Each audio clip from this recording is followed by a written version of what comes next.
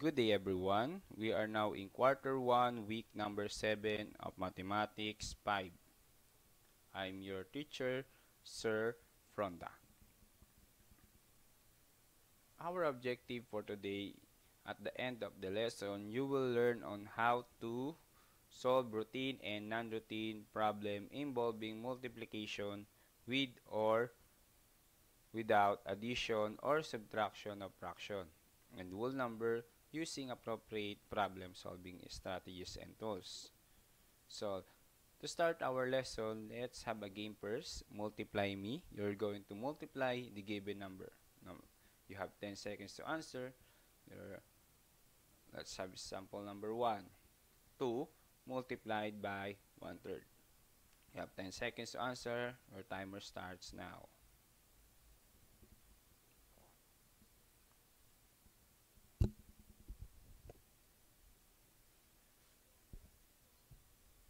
Okay, time is up. Let's reveal the answer. So 2 multiplied by 1, the answer is 2. Then uh, 2 has no denominator, so the denominator of 2 is 1. 1 times 3 is 3. So the answer is 2 third. Let's example number 2. 5 multiplied by 1 8. You have 10 seconds to answer. Timer starts now.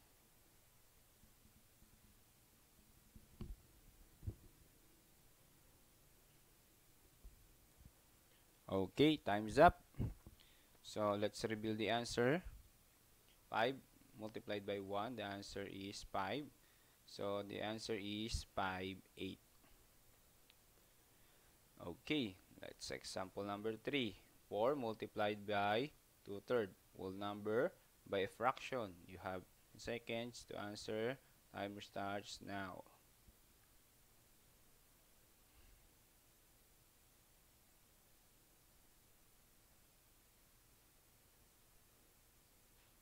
Okay, time is up. The correct answer is 8 third. Or simplify your answer, the correct answer is 2 and 2 third. Example number 4. Fraction by a fraction. 1 third multiplied by 1 8. You have 10 seconds to answer. Timer starts now.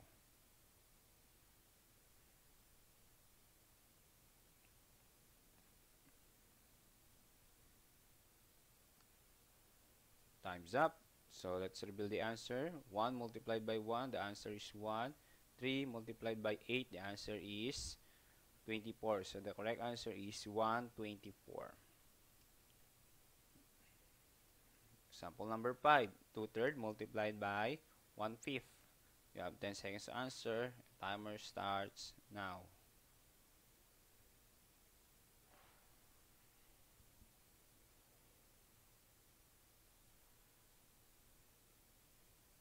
Okay, let's reveal the answer. 2 multiplied by 1, the answer is 2.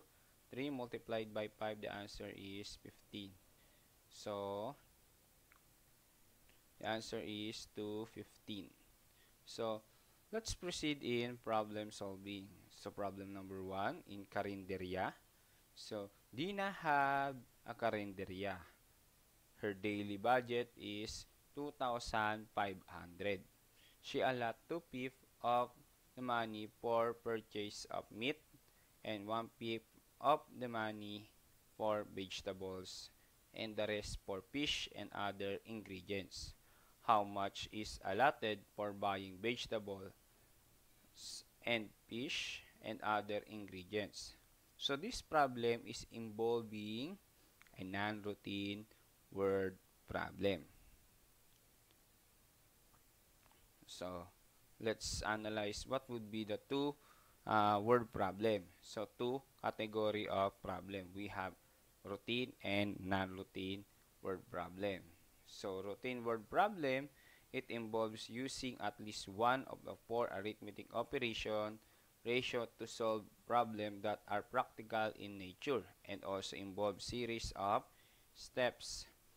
So, here is the example of a problem solving non-routine four steps of well, yes. So we have understand, plan, solve, and look back. in understanding, we're going to know what is as and what are the given facts. In planning, we're going to determine the operation to be used and write the number sentence. And then solving, we're going to solve the number sentence and we're going to write the complete solution.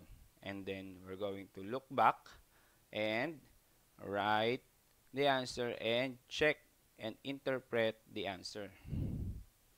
So here are the steps. And while non-routine word problem, it is any complex problem that requires some degree of creativity or originality to solve.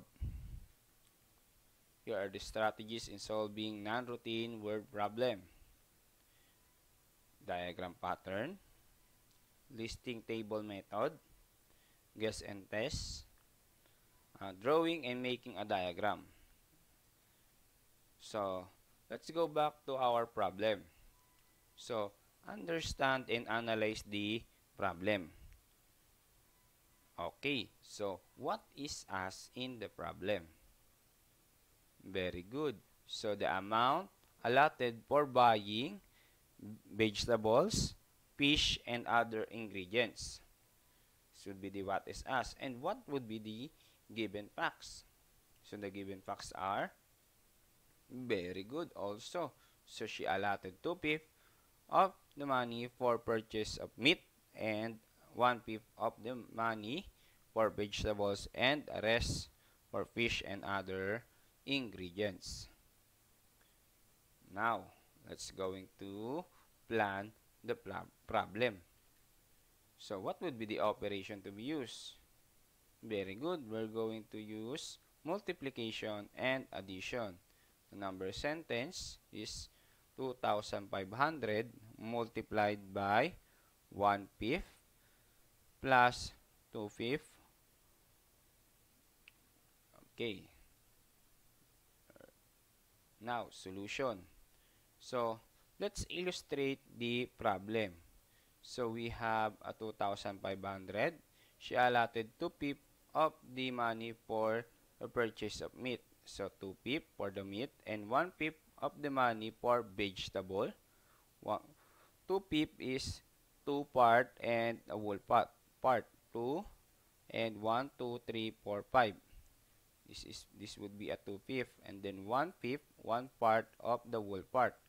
And vegetable and the rest for fish and other ingredients. So this would be for fish and other ingredients. Now, how much is allotted for vegetable and fish and other ingredients? So this would be the three parts. We have one two three So we have this would be a total of 2,500. So 2 p for the meat and this would be for vegetable, fish, and other ingredients.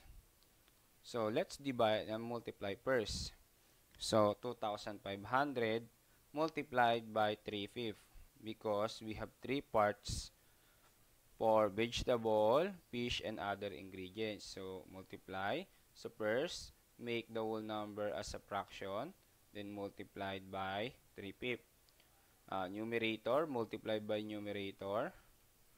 So, 2,500 multiplied by 3, the answer is 7,500. 1 multiplied by 5, the answer is 5.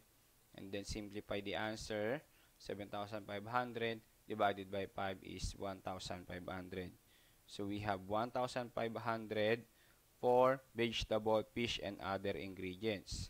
So, final answer, 1,500 allotted for vegetable, fish, and other ingredients. So, we conclude that we have three parts. So, we have 500, 500, and 500 for these three parts. So, the total of these three parts is 1,500.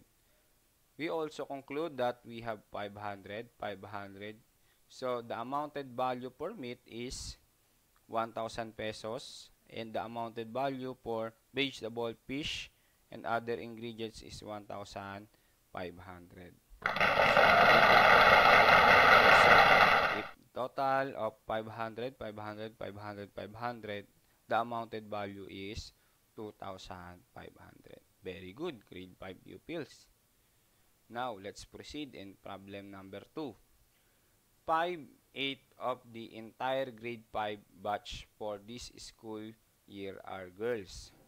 If there are 480 grade 5 students, how many are girls? So, let's have an understand what is asked in the problem. What is asked? And what are the given?